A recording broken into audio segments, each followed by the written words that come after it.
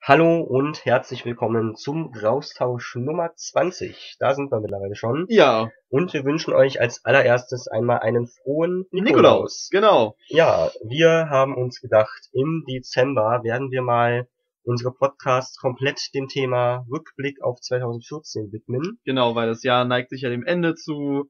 Weihnachten steht vor der Tür, heute ist Nikolaus. Hoffentlich hattet ihr alle schön was euren Schüchen. Und ja, deswegen wollen wir mal gucken, was ist eigentlich dieses Jahr so passiert. Und zwar in verschiedensten Bereichen. Und ja, da werdet ihr jetzt die gesamten Monat über verschiedenste Podcasts von uns bekommen. Ja. Und wir haben uns gedacht, wir fangen mit dem im Prinzip an Anführungszeichen uninteressantesten an, nämlich einfach so ein paar News, die wir lustig, sehr negativ, sehr skurril oder so fanden. Nächste Woche werdet ihr dann unsere, unsere Diskussion über die Themen, die Aufreger, die Debatten des Jahres hören, dann zum Beispiel über die total überzogene Sexismus-Debatte, Genau. könnt ihr euch schon mal drauf freuen. Und dann natürlich übernächste Woche die Spiele, die rausgekommen sind. Das ist ja das Wichtigste. Und am 27.12. gibt es dann noch unseren Ausblick auf 2015, von dem wir annehmen, dass es ein hervorragendes Spielejahr werden wird. Ja. Und äh, falls man es hört, ich bin ein wenig krank. Ähm, ich werde versuchen, alle lautheißen Huster herauszuschneiden. Ähm, ja, sollte es mir nicht gelingen, entschuldige ich mich schon mal im Voraus. Ja, wir werden versuchen, äh, so viel aufzunehmen wie, möglich, wie es Grautons Stimme hergibt. Und ja, mal gucken, wie weit wir kommen. Ja. Genau, und dann fangen wir jetzt an mit den News, die dieses Jahr so erschienen sind. Und zwar haben wir es eingeteilt in überraschendes Positives, in Negatives und in äußerst Skurriles, was den größten Part einnehmen wird. Ja, Und ja, wir fangen erstmal an mit dem Positiven und da hat gleich am 7.1., also da habe ich mal gesagt tendenziell positiv, Sony seinen Cloud-Streaming-Dienst PlayStation Now angekündigt. ah, ja, das war, stimmt, das war ganz am Anfang des Jahres noch. Und ich sage mal, prinzipiell positiv sage ich, weil neue Möglichkeiten, potenziell günstiger Spiele zu bekommen, sind ja nicht schlecht. Die sind erstmal nicht schlecht, das stimmt. Und ähm, ja, aber vor kurzem ist ja die Beta gestartet und die Preise, die da zu sehen waren, waren ganz schön happig. ja, Sowas wie drei Euro für einen Tag oder so. Wo man so dachte, okay, da kann ich auch in die Videothek gehen und es mir da leihen. und billiger. Ja, also, aber muss man sehen. Ich denke mal, da probieren sie noch rum und ich hoffe, dass Sony da eine positive Preispolitik findet. Und es ist natürlich, wenn man in so ein Spiel einfach mal nur reingucken möchte und dann sich für ein Euro oder so was für einen Tag mal leihen kann da und streamen kann, dann kann das natürlich was sehr Positives werden. Ja. Aber das muss man sehen, aber ich habe es mal unter tendenziell positiv vermerkt. Kann auch noch negativ aussteigen, man weiß es noch nicht. Ja. Ja, Ja. am 14.01. kam dann etwas, was dich sehr erfreut hat. Oh ja, die offizielle Ankündigung von A-Wolf. Ach ja, das war. Ich, weiß nicht, ich habe den, den ersten Trailer, das erste Gameplay, was sie damals gezeigt haben, als sie es angekündigt haben, von den Left 4 Dead Machern, kommt hier ein neues Spiel, auch wieder so, so Arena-mäßig so ein bisschen, halt 4 gegen 1. Ähm, ja, das, das fand ich schon, bei der Ankündigung allein, das, das hat mich schon so ein bisschen gefixt und dachte so, cool, das, das hört sich, das hört sich stark an, Monster zu spielen, Jägerplatz zu machen oder dann als Jäger dieses Monster zu jagen. Und ich muss sagen, es hat sich bisher alles bestätigt. Ich bin extrem gehypt, was dieses Spiel angeht. Ja. Ich bin Ja. sehr, sehr gespannt. Vor allem jetzt haben sie ja vor kurzem, äh, gestern, vorgestern irgendwie so, haben sie ja nochmal äh, die äh, vier oder fünf neue Spielmodi noch äh, gezeigt. Und dazu jedes Mal Gameplay-Material. Und zeigen die ganze Zeit neue Charaktere, die ebenfalls noch im Spiel sein werden, verschiedene Hunter-Klassen. Ähm, ja, also das, das, das. Und bis jetzt sieht alles wirklich super aus. Ich freue mich riesig darauf. Das wird auf jeden Fall gekauft, gespielt und so weiter. Übrigens, ich habe jetzt hier nicht jede Ankündigung, die dieses Jahr war, drin, keine Angst. Äh, nur Evolve fand ich schon als was Besonderes, weil da einfach mal ein neues Spielkonzept angekündigt wurde, Ja. was es so bis dahin noch nicht gab. Und sogar ich als äh, eigentlich strikter Multiplayer-Verweigerer ähm, bin davon relativ gehypt und werde da sicher auch mal reingucken. Wahrscheinlich bei dir. Ja, das stimmt wohl. Ja.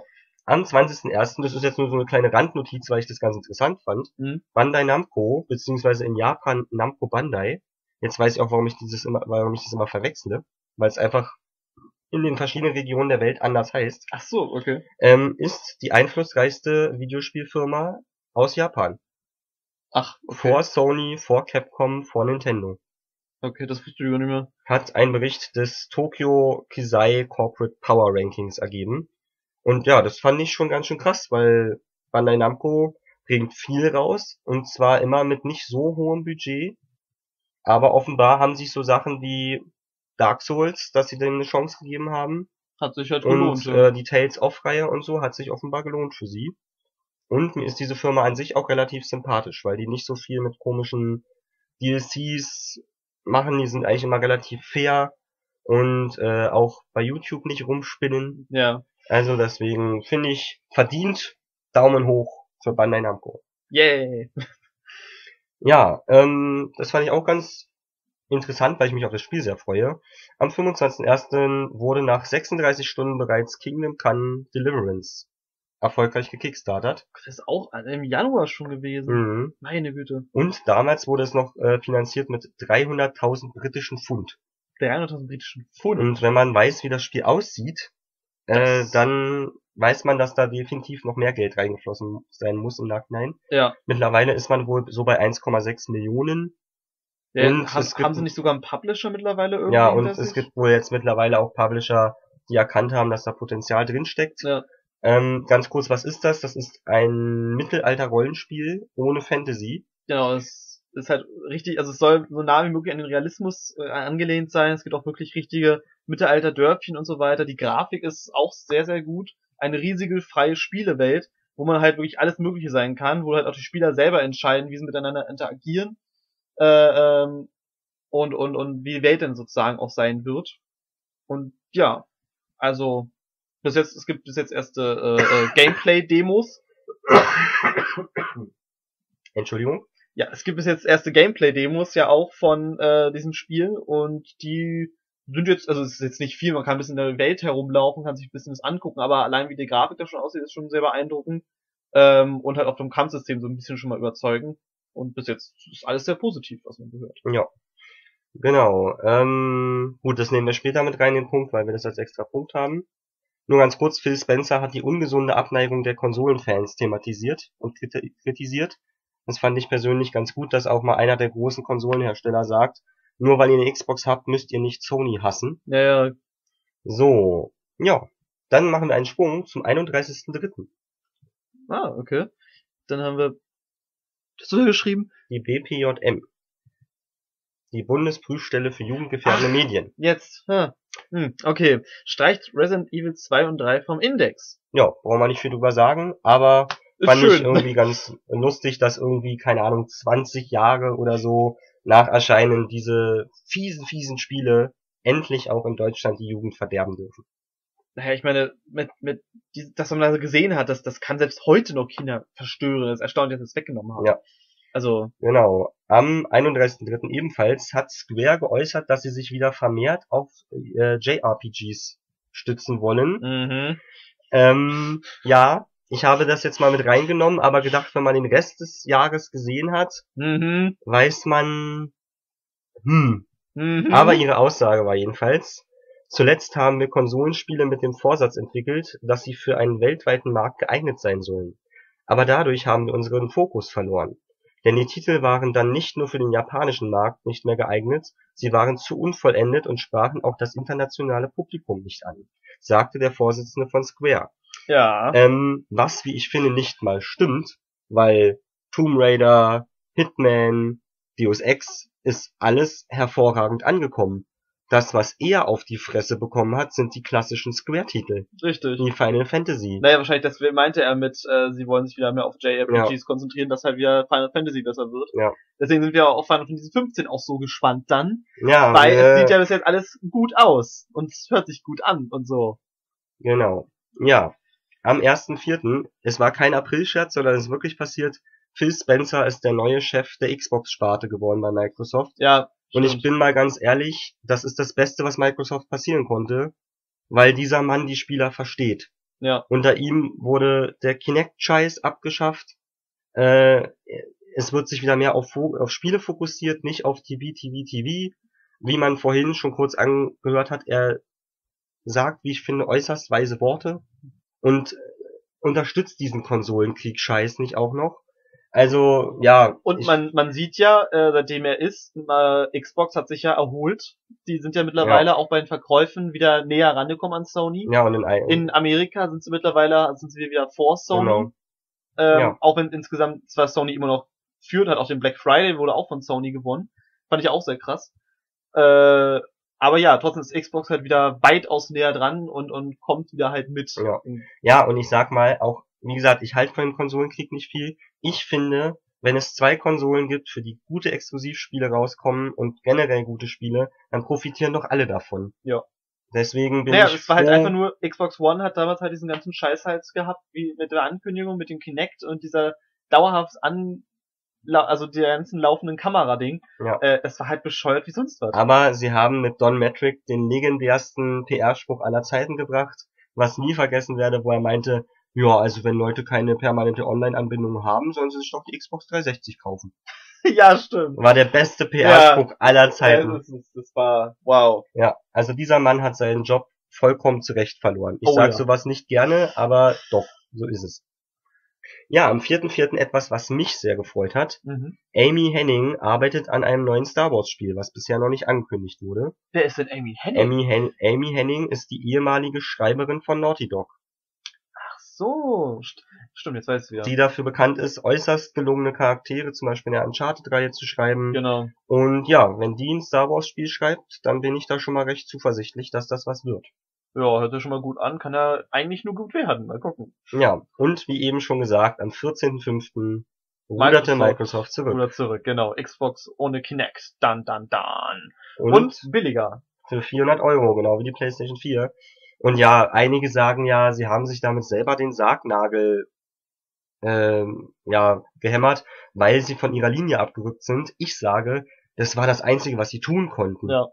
Äh, weil sie haben halt sich so einen Marketing-GAU äh, geleistet, sie konnten nur noch zurückrudern. Das, da hatten, und man sieht ja auch, dass es ihnen seitdem wieder besser geht. Ja. Und es tut mir nur ein bisschen leid für all die Leute, die jetzt Kinect da stehen haben und wissen, okay, dafür kommen wieder keine Spiele. Ja, das stimmt. Aber ich sag mal auch so, das hätte man sich auch vorher denken können. Naja, wie gesagt, das Problem ist halt wirklich, Microsoft hat mit Kinect halt einfach versaut. Kinect selber ist ja gar nicht mal so schlecht, sage ich mal. Man, es kann theoretisch, kann man halt verdammt viele äh, interessante und gute Spiele konzipieren. Das stimmt. Aber äh, so also ich meine, wie kommt auf diese bescheuerte Idee, äh, dass dieses Ding dauerhaft an sein muss, wenn Ja. man die Xbox, also Naja, und auch dieses, dass sie sich, ähm, hier, was ich am schlimmsten fand, dass sie sich einmal am Tag einloggen muss online, ja, sonst verliert sie, sonst funktioniert sie nicht mehr. richtig, Was ist denn das? Wenn man in Urlaub fährt, muss man das bei Microsoft anmelden, oder wie? so ungefähr. Also, ja. Es, ist total bescheuert. Ja, Naja, und, und was noch alles war. Und das halt auch wirklich alles äh, damit mit erkannt wurde von der Kamera. Also das war halt einfach reines Ausspähen, mehr oder weniger. Und das gerade Ja. zu der Zeit, wo eh gerade dieser ganze Spähskandal war. Ja. Also, es war halt bescheuert wie sonst was. Ja. Und deswegen ist es zwar schade mit der Kinect, aber wer weiß, vielleicht kommt da nochmal irgendwann was mit einer Kamera, wenn jetzt nochmal Virtual Reality richtig gut wird, denn auch mit der, äh, mit der, mit der Brille, mit der Oculus Rift und so weiter. Ich meine, mittlerweile hat ja Microsoft auch angekündigt, dass sie eine Brille Ja, machen werden, die ich ja gesagt hatte, dass es kommen wird. Und ja, also wenn die ganzen Brillen erstmal da sind, wer weiß, ob da nicht bald noch die, denn doch äh, Microsoft den, den Bonus mit der Kinect hat, dass sie dann halt noch eine bessere Kinect machen, die halt nicht irgendwie dauerhaft im Online-Modus sein Mhm. muss. Äh, und die halt dann mit deinen Bewegungen, wenn du halt die Brille aufhast und dann halt wirklich komplett in der virtuellen Realität bist. Also sprich, wenn du halt deine Hand bewegst, dann auch wirklich äh, deinem Spiel deine Hand bewegst. Ja. das kannst du mit der Brille sehen. Also es gibt halt sehr, sehr viele Möglichkeiten, was man noch alles mit dieser äh, Kamera tun kann. Sie müssen es halt nur entwickeln und, und gut verkaufen. Ja, am 16.05. etwas, was mich sehr beruhigt hat, eine Umfrage der NDP Group, ich habe erst NPD Group geschrieben aus Versehen, ähm, ergab, dass 74% aller Spieler die Disk-Version der Spiele bevorzugen. Das ist gut, ja. Also so viel zu, das braucht doch kein Mensch mehr, was die Publisher uns alle verkaufen wollen. Es ist alles nur noch digital, Disk-Version braucht kein Schwein mehr. Er ist total bescheuert. Ähm. also wenn ich allein daran denke, äh, Mordors Schatten. Wenn ich das mir gedownloadet hätte bei Steam, das hätte, ja, hätte Tage gedauert. Ja, Ich habe jetzt, äh, ich habe von der 16K-Leitung, aber selbst mit der hätte es wirklich den gesamten Tag gedauert, bis ich diese 40 Gigabyte gedownloadet hätte. ja, Und so war es halt, ich hatte vier oder fünf CDs, DVDs, äh, ja, und dann halt installiert und es war innerhalb von, ich glaube, einer Stunde oder ander- anderthalb war es fertig. ja. Also, äh, Disk hat sehr, sehr viele Vorteile. Ja, und wie gesagt, ich bin da wirklich, muss, gebe ich zu, ich bin ein Sammler. Ja, Äh, ich, ich, gut, im Moment habe ich kein Regal, weil ich hier in Kisten lebe. Aber ich stelle mir die Dinger eigentlich gerne ins Regal und gucke und sehe sofort, wenn ich was Altes spielen will, greife ich es raus und lege es ein und spiele. Ja. Weil momentan dass ich halt äh, PCler eigentlich nur bin, habe ich halt äh, die meisten meiner Spiele bei Steam. Ja, es spricht Aber- ja auch nichts dagegen. Ich verstehe diese extreme Haltung nicht so. Es darf nur eins von beiden geben. Ja, das, das, ist das so. ist bescheuert. Ja. Ähm, ja, am 4.6. kam etwas, was dich sehr erheitert hat, was ich aber trotzdem da positiv ähm, Ja, vermerkt habe. das war, äh, Obama hat äh, Polen einen Besuch abgestattet. Ja. Und Polen hat Obama ein Spiel geschenkt, nämlich Witcher 2. Mhm. Na, das hatte es schon vorher gemacht, zwei Jahre vorher, als Polen da war. Und als so. er dann in Polen war, hat So, er dann. Okay, so rum war's. okay. Ähm, ja, also äh, Witcher 2 war ja das, äh, das Thema und dann hat Obama das halt äh, sehr gelobt, dieses Spiel. Und hat auch Polen äh, dafür gelobt, dass sie, äh, dass sie halt die, die Spieleentwicklung unterstützen. Allerdings muss man sagen, ich habe es damals falsch verstanden, wie viele andere auch, weil es sich sehr lustig angehört hat. Äh, so wie Obama geredet hat, oder beziehungsweise so wie es auch rübergebracht wurde, hat es sich so angehört, als ob Obama gesagt hätte, ja, äh, Polen ist eigentlich nur wegen Witcher, äh, Witcher 2 oder generell wegen der Witcher-Reihe eigentlich so mit der Ja. Weltwirtschaft bekannt ja, und, und, so war es nicht gemeint, weil Polen hat ihm nämlich auch nicht nur Witcher 2, sondern einen, einen Geschenkkorb sozusagen mit vielen Produkten aus Polen gegeben. Ja, ja. Und er hat es als eines der Zeichen für ihre Rolle in der Weltwirtschaft bezeichnet. Und ich muss sagen, ich habe es als super positives Zeichen empfunden, dass Polen wirklich stolz auf CD Projekt Red ist. Ja. Und ähm, ja, und wirklich sagen, wir machen gute Videospiele. Das ist etwas, was man an, gegenüber anderen Ländern betonen kann. Und das fand ich wirklich, in, wo wir in einem Land leben, wo es zwar weniger wird, aber Videospiele von der Politik größtenteils immer noch so als, oh, also dieses Zeug, was aber die Jugend verdirbt und Amokläufer schafft, gesehen wird, naja, fand ich das als super positives Nein, noch nicht mal, Zeichen. nicht, ja, ja, noch nicht mal das, das, das Ding ist noch nicht mal das, das Hauptproblem. Da, diese Meinung ist ja wirklich schon so langsam ein bisschen weiter weg. Das Problem ist halt einfach nur, wie halt die Spiele trotzdem immer noch behandelt werden, ist so Ja. abartig. Also das beste Beispiel ist ja immer noch äh, der, der deutsche Game Award. Mhm. Äh, das, das ist das, das bescheuertste überhaupt, wie sie da mit den Spielen umgehen und dann welche Spiele sie da auszeichnen und ja, ist ja alles ganz toll und äh, so nach dem Motto, wir, wir, ich, weiß wir, nicht, ich ich wir hab, würdigen in ja, Anführungszeichen genau, wir euch. würdigen in Anführungszeichen euch. Im Hinterkopf denken sie so, ach, was sind das für Nerds? Ja. Es ist, es ist wirklich so. Also, naja. Es ist halt immer noch diese, diese, diese Haltung in Deutschland muss sich immer noch so ein bisschen ändern. Aber, Ja. ja. Ja, vom 10. bis 12.06., ich weiß nicht genau wann es war, jedenfalls während der E3, hat Sony SharePlay angekündigt. Ah, ja. Hm. Und das ist quasi, dass nur ein Freund, also wenn man äh, im PSN befreundet ist, muss sich nur einer das Spiel kaufen und der andere kann es kostenlos von seiner Konsole streamen, quasi. Genau. Und es wurde zum ersten Mal bei äh, Far Cry 4 vorgestellt. Man muss aber sagen, zumindest da war es eingeschränkt.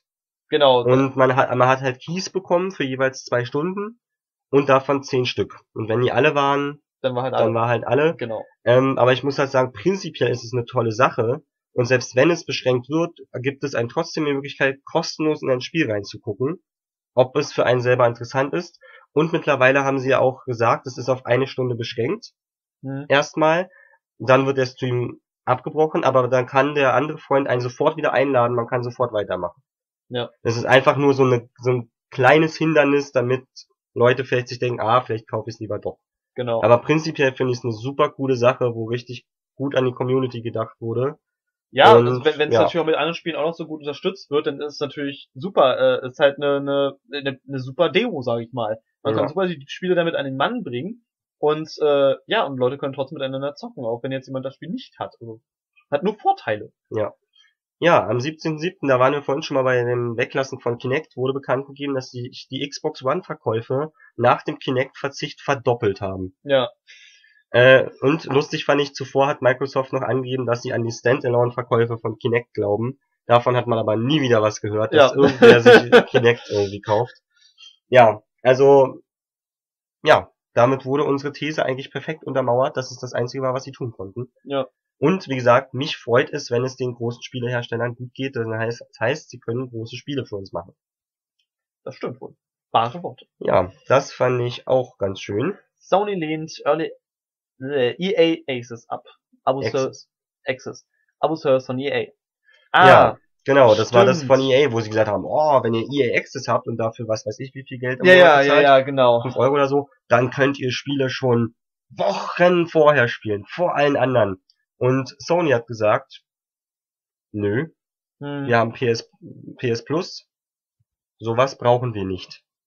Und man muss ja sagen, im Nachhinein hat sich das halt schon wieder als ziemlich schöne Rederei von EA herausgestellt. Richtig. Denn nehmen wir mal das erste große Beispiel, wo man wirklich lange, wo man ein Spiel weit vorher spielen konnte, das war Dragon Age Inquisition. Ja, man konnte es drei Tage vorher spielen für sechs Stunden. Ja. Das, dafür bezahlt man Das, dann. das, wow. das war echt. Das, Das heißt, man bezahlt für Demos Ja. im Prinzip. Und ja. zwar teure Demos in dem Falle, weil. Gut, man kann auch alte Spiele umsonst dann spielen, für weniger als wenn man sie sich kauft.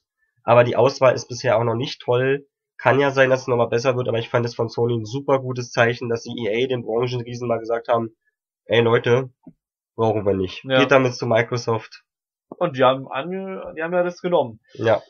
Ja, am 13.8., das musste ich einfach auch als Anmeldung, äh, als Ankündigung nochmal erwähnen, gab es dann den brillanten Marketing-Move von Kojima. Der Kojima-Fanboy. Ey, du fandest es genauso brillant. Das ist genial. Ja, danach kommt was, was Kojima Fanboy-Tum ist. Aber erstmal, ja, und zwar Silent Hills. Ja. PT wurde auf der Gamescom angekündigt. Wir haben einen Podcast dazu gemacht, weil wir so begeistert Ja, waren. PT war, wow, Ja. genial. Der erste spielbare Teaser der Videospielgeschichte und was für einer. Der, das war, wow. Und Ja. halt in diese An und vor allem dann halt dieses Ding, man hat zuerst dieses PT halt äh, gespielt und im Nachhinein hat man festgestellt, Moment, wenn man das Rätsel darin löst, dann kommt erstmal ein Trailer oder wird Silent Hills angekündigt. Also es war einfach nur großartig. Ja. Dieser Mann weiß einfach, wie Marketing geht. Na, und, Und vor, vor allem, wie er es damals so also komplett trocken auf der Bühne vorgestellt hat. halt Einfach. na, er, er ja nicht mal. Oder- er, nee, er, genau, er ja. hat Metal Gear Solid gezeigt, ist dann gegangen. genau so. Und dann rum. wurde ohne Zusammenhang zu ihm einfach PT vorgestellt. Man dachte auch erst, so wie der Trailer dazu war, dachte man auch erst, es ist so ein, ja, so ein Pseudo-Schocker. genau. Und dann hat man es gespielt und allein dieser Teaser war schon von so überragender Qualität. Ja, dass der Hype-Train in Richtung Silent Hills aber mal sowas von losgefahren ist. oh ja. Ja, und jetzt kommt ein bisschen Okay. Fanboy-Tum. Jetzt Fanboy Kojima. Ja. Ich mag es einfach, dass der so Kleinigkeiten macht. Am 23.09. wurde bekannt gegeben, dass Lysa, die nette Geisterdame aus PT, äh, in Metal Gear Solid 5 vorkommen wird. Und zwar als, als Ablenkungsgummipuppe. Da kann man ja diese Platten werfen, wo dann Ja, irgendwelche ja. Gestalten rauskommen. Und sie kann man halt in die Gegend werfen und dann rennen alle schreiend weg, weil sie Angst vor ihr haben. Finde ich großartig. Oh man. So, und nachdem jetzt der Kojima Fanboy sich ausgelassen hat, kommt jetzt, äh, sind wir eigentlich schon in der Gegenwart mehr oder weniger, weil das ist ja, ja, eine, eine Woche ungefähr, Ja. äh, zurück. Am 28.11. kam endlich der erste Star Wars Teaser, Ja. Episode 7, The Force Awakens. Und zwar ein richtig cooler. Ja. Nicht, nicht so wie Teaser sonst sind, so zwei Minuten Text und dann kommt einmal kurz ein kurzes Bild und das war dann der Teaser. ja, Sondern richtig, wo gezeigt wurde, die X-Wings sind wieder da mit den Original-Sounds und der Millennium Falcon. ja, und, und die, die, die Sis kommen wieder und, und alles mögliche. Da hat wieder gerade schon gehustet, äh, und alles mögliche richtig cool und, und, ah, dieser ganze, ganze, dieser ganze Teaser war, und ich glaube, jeder hat sich einfach mal am Anfang erschrocken. Ja, ja. ich habe mich auch voll erschrocken, als, als halt, du siehst einfach nur dieses Bild, diesen, diese Wüste, Wüste, wie es auch immer, bam, kommt diese Musik so extrem laut und der Typ steht direkt vor einem. ja. Ja, und also was dieser Teaser geschafft hat, ist, dass er hat ja noch nicht viel gezeigt von der Story und so, aber er hat es geschafft, dass man gesehen hat, dass J.J. Abrams verstanden hat, was Star Wars ausmacht. Ja. Und äh, ja, wer mal einen erwachsenen Mann, der Star Wars liebt, weinen sehen möchte, dem verlinke ich hier mal die Reaktion der Rocket Beans auf äh, den Teaser. Äh, ja, göttlich. Ja. Wie, ihr werdet einen erwachsenen Mann in Tränen sehen, weil er so glücklich ist über diesen Teaser. Ja.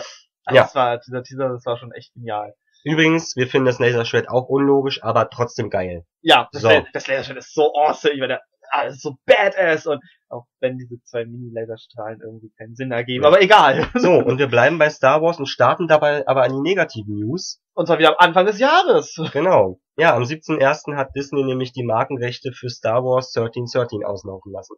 Ja, Dieses Spiel, wo sich viele drauf gefreut haben, was bombastisch aussah, wird also aller Wahrscheinlichkeit nach nicht kommen. Naja, es wird niemals kommen. Ich meine, mittlerweile haben wir jetzt Ende des Jahres und es ist keine neuen News, also außer negativ. Naja, also theoretisch könnte EA sagen, sie kaufen sich jetzt die Markenrechte für Star Wars 1313, wenn sie unbedingt wollen würden.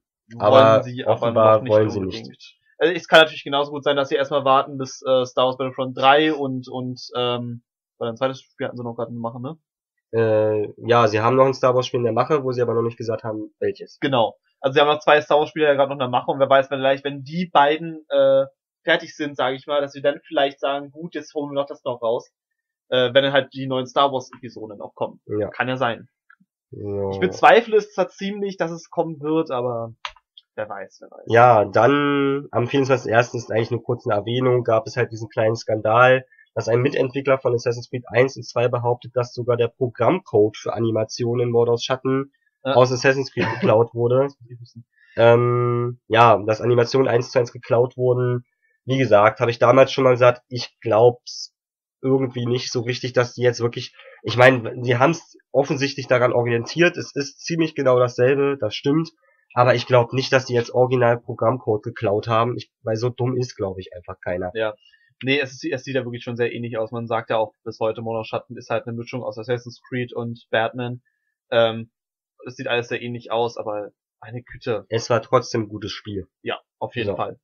Ja, ähm, ja, dann machen wir weiter mit EA, die, die sich dieses Jahr wieder mal viele schöne Äußerungen ge- geleistet haben. Ach, EA Und- ist doch jedes Jahr am Arsch. Ja, ähm, ja, und zwar haben sie geäußert, dass die Bugs den Verkauf von Battlefield 4 nicht negativ beeinflusst haben. Ja. Ja, Dieser ähm. Peter, Ähm, Peter Moore, der eigentlich sogar als einer der sympathischsten da noch gilt, sagte Mhm. nämlich, also ja, wir haben Auswirkungen der Current-Gen-Schwäche gesehen. Aber wir sind nicht der Meinung, dass diese auf irgendwelche Qualitätsprobleme zurückzuführen sind. dieser Spruch, das ist so bescheuert. Ja, also, wie kann man denn sowas sagen?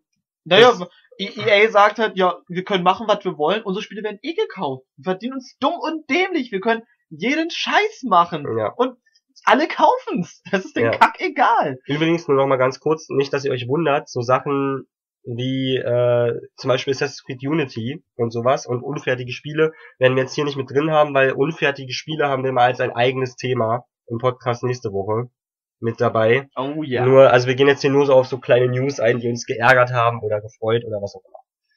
Genau. Ähm, ja, das habe ich einfach mal exemplarisch Ah, für ja. das Jahr. Nintendo hat am 29.01. einen Gewinneinbruch von 30 Prozent äh, bekannt gegeben und Gehaltskürzungen im Vorstand vorgenommen. Na, die absolute Nintendo-Krise, wo ja schon Anfang des Jahres, wo ja schon viele gesagt haben, Nintendo ist jetzt am Ende Ja, und es, es wird jetzt nichts mehr weiter kommen und sonst irgendwas. Mittlerweile, es geht ihnen ja schon wieder gut, weil, äh, na, jetzt kommen halt ihre Qualitätsspiele, die sie nun mal haben. naja, natürlich, wir haben jetzt, jetzt, jetzt momentan zwar Smash Bros. ist jetzt rausgekommen, für 3DS ja schon seit einer ganzen Weile, für Wii U jetzt gerade aktuell, Ja, äh, draußen verkauft sich wie geschnitten Brot. Ähm, wir haben auch äh, äh, andere Ankündigungen jetzt mittlerweile gehabt, auch für Legend of Zelda und, und eine komplett neue Spielemarke. Halt Star Fox noch Star, neues. Star Fox kommt auch noch ein neues. Ähm, also vieles, was jetzt irgendwie nochmal äh, äh, für die Wii U erscheint. Bayonetta 2 war ja auch noch, was ja auch äh, ganz gut verkauft wurde, denke ich mal. Ja, weiß ich nicht. Also in Japan hat es extrem schlecht verkauft, leider. Ach echt? Ähm, ja, also weiß ich nicht. Ich habe da keine Informationen zu. Na gut, aber äh, jedenfalls, also sie haben auf jeden Fall viele Spiele jetzt rausgebracht. Wir haben jetzt halt äh, so ein bisschen, glaube ich, auch wieder umgeschaltet, umgedenkt, nachdem dieses ganze Wii U Marken äh, äh, PR-Debakel eigentlich Ja. war. Äh, haben sie jetzt ein bisschen umgeschaltet, haben jetzt wieder gute Sachen verkauft und wie gesagt 3DS, ähm, die neuen Pokémon-Editionen, die jetzt wieder rausgekommen sind, sind natürlich auch wieder verkauft worden wie geschnitten Brot. Also Omega, äh, äh, Rubin, Alpha Ja. Saphir. Ähm, das Also- muss man auch nochmal sagen, es geht Nintendo nicht schlecht. Deswegen, Die Wii U ist nicht so, wie sie sein sollte, aber Nintendo hat Geld, um noch drei Konsolengenerationen zu verhauen. Einfach weil die mit der Wii und dem DS und dem 3DS so viel Geld angehäuft haben. Also das, man sagt, ich weiß gar nicht mehr genau, ich glaube, es wurde gesagt, sie haben irgendwie, glaube ich, 25 Milliarden in der Rückhand noch. ja, irgendwie so. Also Irgendwie die, sowas. Sie, also, sie, sie können sich sehr viele Fehler leisten, auch wenn, also es, ich meine, sie haben sich so mittlerweile, wir haben, ich, also ich empfinde es jedenfalls, sie haben sich so ein bisschen erholt, auch wenn sie sich halt wieder PR-Debakel leisten. Also dieser Nintendo 2DS war wieder so der bescheuert. New 3DS. Der New 3DS, das war das bescheuertste aller Zeiten. Also wie kann man auf diesen bekloppten Namen Ja. kommen? Naja, aber ich habe mein Empfinden ist auch, dass ich mich freue, dass es irgendwie bergauf geht wieder mit ihm. Und es wird auch hinzu, es wird auch nächstes Jahr wird es ihnen immer besser gehen. Sie werden neue Sachen rausbringen und ja, also also man muss sich, ich glaube, Nintendo ist so eine Firma, die hat man immer so ein bisschen im Herzen, die die ist immer da, die Und ist die hatte auch schon immer ihre Auf und Abs. richtig genau und es wird immer so sein.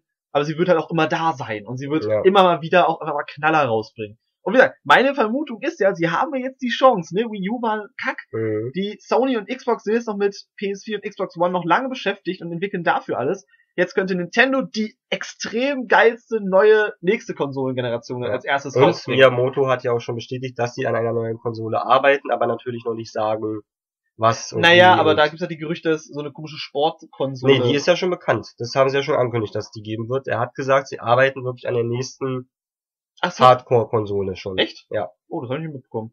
Ja, ähm, Naja, aber wie gesagt, da, siehst du meine Theorie, ne? Mhm. Bestätigt sich alles. Also wir bleiben äh, mal bei so Meldungen, wo man so dachte, what the fuck?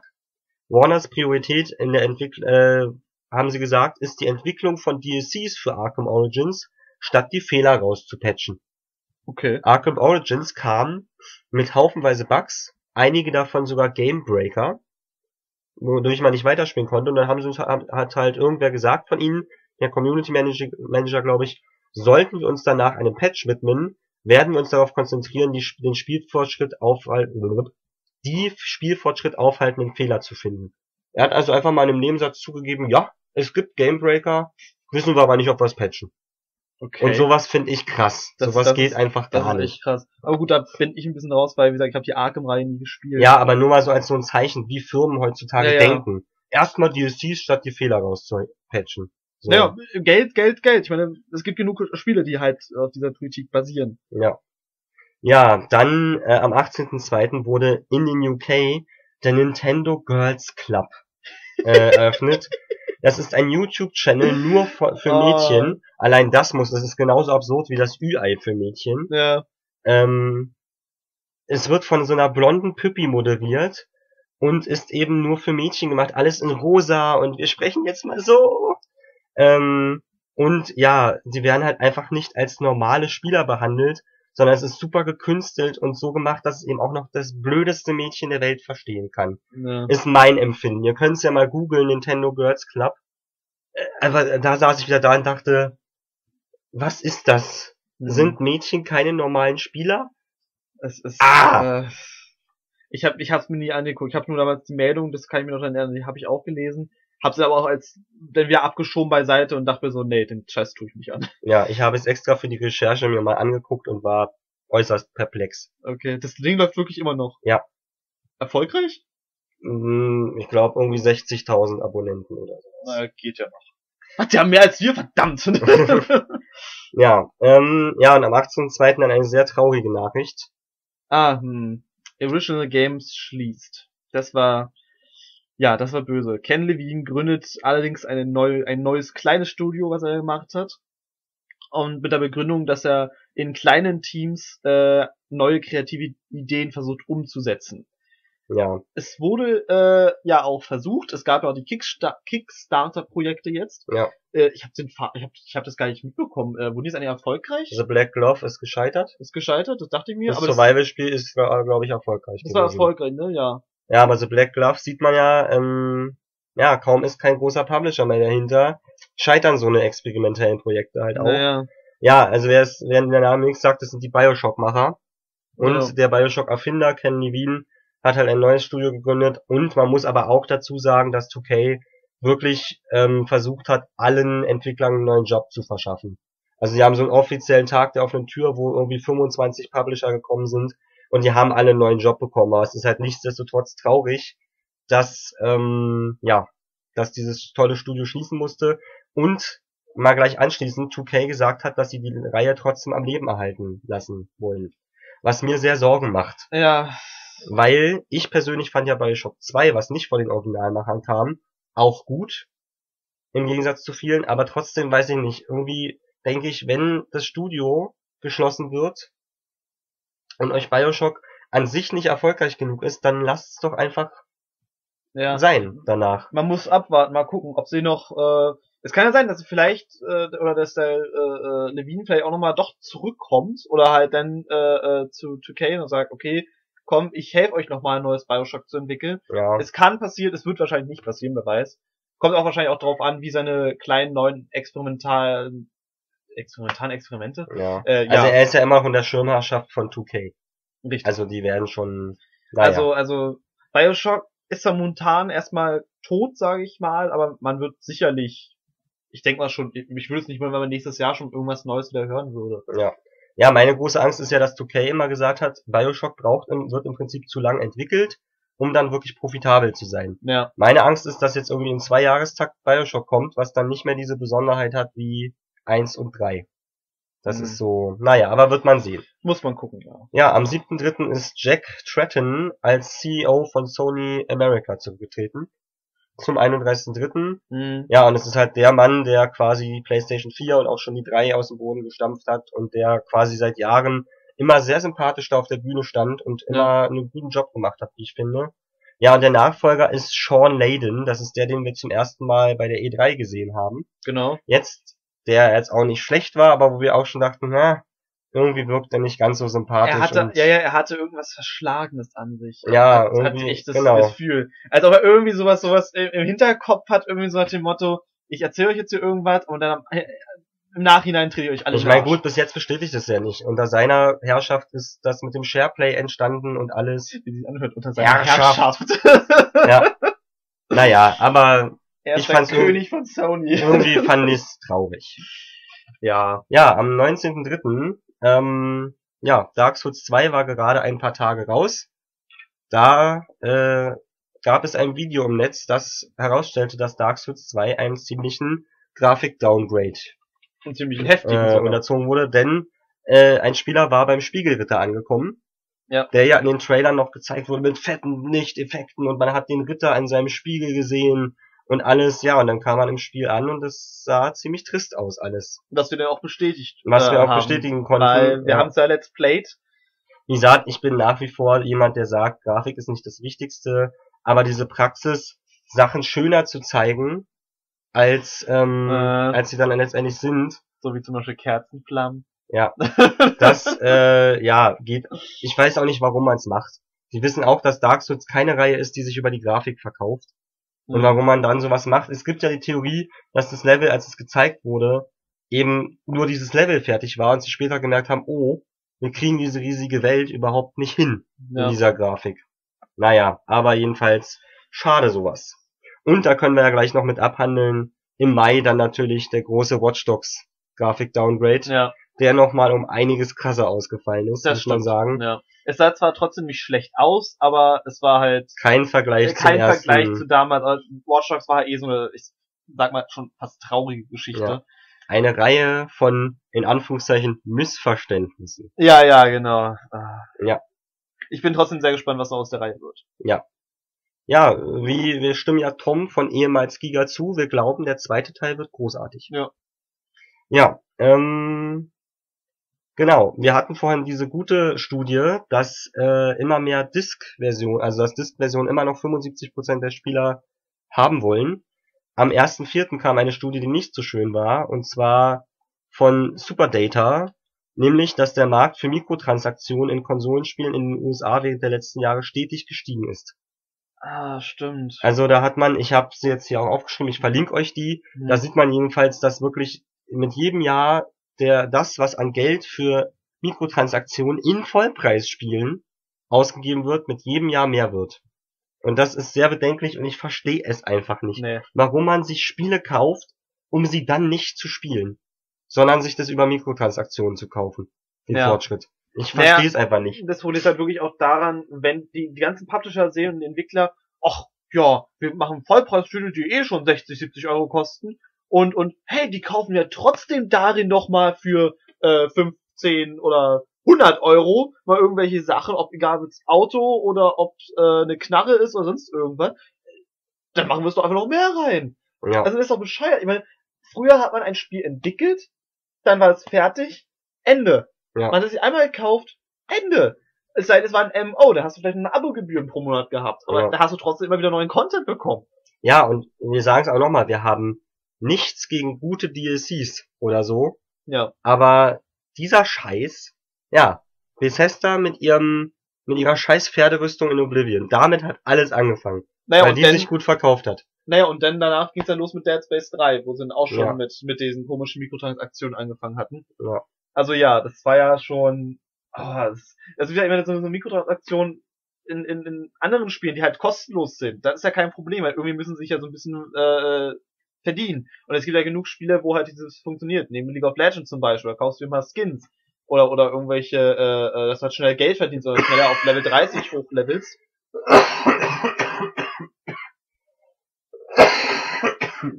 So, das werden wir geschnitten haben. Okay. Ähm, ja, also dass man halt schneller auf Level 30 hochlevelt oder sonst irgendwas und da geht das Konzept halt auf. Aber wie gesagt, League of Legends ist ein kostenloses Spiel, da verstehe ich das. Wenn es jetzt auch 60, 70 Euro kosten würde, dann wäre schon wieder so ein Ding, wo ich denke, ey, was soll der Scheiß? Ja, und ähm, am 11.04. kam auch was, was gar nicht geht. Oder gut fand ich, dass es verklagt wurde, aber was Bethesda sich geleistet hat, war nicht cool. Hm. Nämlich die Verbraucherzentrale Bundesverband hat Zenimax und Bethesda verklagt wegen des Abo-Modells für The Elder Scrolls Online. Und was war passiert? Ähm, ich lese jetzt einfach mal den Originaltext von der GameStar vor. Hm. Äh, dabei standen vor allem die Abonnentenpraktiken von Zenimax Online im Fokus.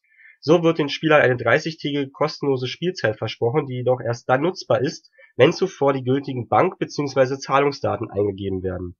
Einige Benutzer berichten darüber, dass nach der Eingabe ihre Kreditkarten oder PayPal-Konten umgehend durch eine Belastung für das Abonnement geprüft wurden. Zwar erfolgte danach stets eine Rückzahlungsbuchung, allerdings nicht immer zeitnah. Bei einigen Zahlungsarten äh, ist die Rückbuchung nicht möglich. Ja, da wurde also quasi ein Abo in der Probezeit versteckt. Das ist der Und sowas geht halt wirklich gar nicht. Und ich fand es wirklich gut, dass die Verbraucherzentrale damit durchgekommen ist und Cinemax diese Praxis einstellen musste in Deutschland. Das, das hatte ich gar nicht auf dem Schirm, aber stimmt. Das war ja auch so ein Skandal wieder. Ja, am 16.04. hat Palm von der äußerst sympathischen Firma King, nur mal ähm, zur Erinnerung, das sind die Macher von Candy Crush Saga, die unter anderem das hervorragende Spiel The Banner Saga verklagt haben, weil Saga im Titel Ja. steht. Oh, das war so bescheuert. Ähm, ja, und der hat gesagt, dass in Zukunft alle Spiele auf Free-to-Play wechseln müssen, weil die Branche sonst keine Zukunft hat. Na, das ist auch bescheuert. Sagt ein Mann, der wirklich Spiele macht, wo man merkt, dass da Herzblut und Leidenschaft drin steckt mit Candy Crush Saga. Ja. Ja. das ist eine bescheuerte Aussage. Es müssen in Zukunft nicht alle Spiele auf Free-to-Play wechseln müssen. Äh, es, es, es gibt halt einige Spiele, also die halt mittlerweile so ein bisschen veraltet sind, weiß ich, sowas wie WoW. Bevor es das letzte neue äh, Add-on war, habe ich auch gedacht, WoW kann eigentlich nur noch hochkommen, wenn sie halt auf das Free-to-Play-Model äh, umwechseln, weil halt dieses 15 Euro im Monat Abo-Modell nicht wirklich aufgeht, nicht, also nicht Ja. mehr. Ja, Äh, und man hat sich geirrt. man hat sich geirrt, dass das letzte Addon, oder Scheiß, das, das letzte Addon, ich habe wirklich wieder Bock bekommen, WoW zu zocken. Ja, ich nicht, aber das liegt auch daran, dass ich, dass mich das Spiel nie so gepackt hat. Naja, ich habe ja früher Ja. habe ich ja sehr viel gespielt. Ja, Ja. am 28.04. begann dann die große Naughty Dog Kündigungswelle mit Amy Henning, die wir vorher schon hatten, die Kreativleiterin und Genau. Storyschreiberin. Dann folgte Justin Richmond, der Game Director von Uncharted 3. Dann Nate Wells, der Art Director von Uncharted 4, der im August aber zurückkehrte. Und am 28.04. dann noch der Lead Character Artist Michael Noland von The Last of Us. Und da hat man sich irgendwie zwischenzeitlich schon so ein bisschen Sorgen gemacht, was ist denn da los Ja. bei denen, dass irgendwie alle wichtigen Entwickler kündigen und woanders hingehen. Ist auch bis heute nicht geklärt, was da passiert ist.